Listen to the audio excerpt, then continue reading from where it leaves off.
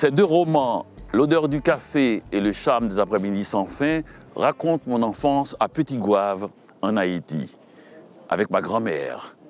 C'est une enfance heureuse, une forme de parenthèse de bonheur en pleine dictature de Duvalier.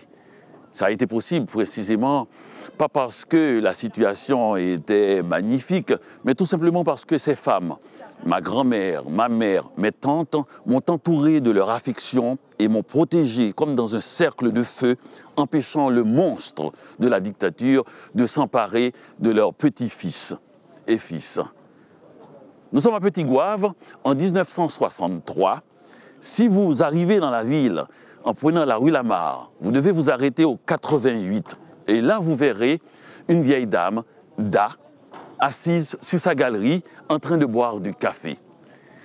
Elle pense que le paradis est une immense cafetière. Elle passe sa journée à boire du café. Et moi, assis à ses pieds, je regarde les fourmis. Et ces colonnes de fourmis me rappellent tellement ce qui se passe dans la rue, la vie des gens, puisque les fourmis sont une métaphore de la vie de cette ville Petit Gouave. Ma grand-mère offre du café aux gens qui passent, qui lui racontent leur vie quotidienne. Et c'est ainsi que, tendant l'oreille, j'écoute un peu cette vie que je vais raconter dans ces deux romans, L'odeur du café et le charme des après-midi sans fin. Une ville toute calme, sereine, entourée de montagnes, avec au loin, à 100 mètres de ma maison, la mer turquoise des Caraïbes. Tout est chaud, tout est assoupi, tout semble immobile, et pourtant c'est grouillant de vie.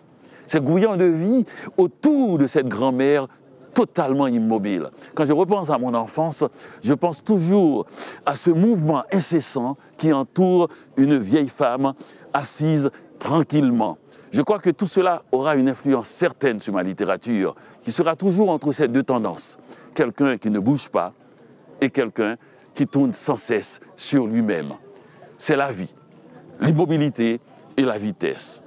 Et je me souviens d'ailleurs de ce visage si serein, celui de ma grand-mère, où j'ai appris l'alphabet parce qu'elle avait des rides. Et ces rides, en se croisant, formant les lettres de l'alphabet. Je pouvais lire des A, des B, des C, jamais de Y.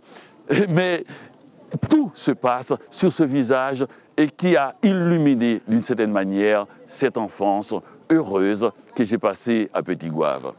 Plus tard, quand je serai à Port-au-Prince, et peut-être même plus tard, quand je serai à Montréal, et encore plus tard, quand je serai à l'Académie française, je me souviendrai toujours que tout est parti par une tasse de café qu'une femme, dans un acte de civilisation suprême, a offert aux gens qui passaient, qui ont pu lui raconter d'une certaine manière leur vie et que moi, j'ai pu mettre dans les livres.